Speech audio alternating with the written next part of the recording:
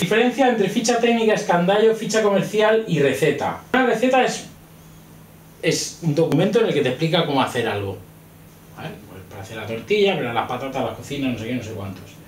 Un escandallo es el documento en el que calculamos el costo de esa receta con los pesos y las mermas y las cantidades. No es necesario tener pasos.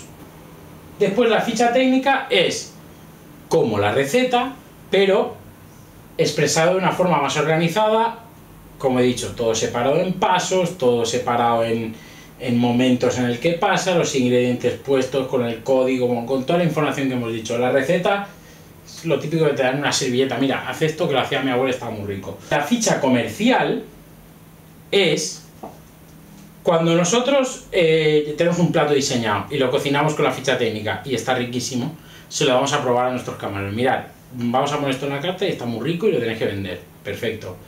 ¿Cómo lo venden ellos? Hay en muchos sitios que he visto que le dan la ficha técnica a los camareros. ¿Qué pasa? Que no saben qué es una brunoise, no tienen ni idea de... O sea, se lían a leer pasos que no importan y... Entonces, no, a ellos les das una ficha comercial donde lo que pones, en vez de poner los pasos y no sé qué, pones algún paso si es relevante. Pero lo que pones son los ingredientes, el origen de los ingredientes, la importancia de los ingredientes, no sé, eh, la verdura nos la traen de un huerto biológico aquí al lado, eh, la carne es frisona de los Pirineos y no sé cuántos.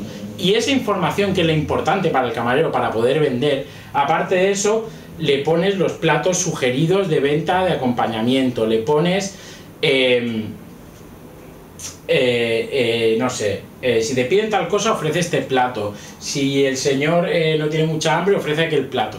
Todo eso lo pones en la ficha comercial. Aparte de, también deberías poner los alérgenos, el maridaje con vinos o bebidas eh, y demás. Y le das la información, digamos, de marketing que necesita para venderlo.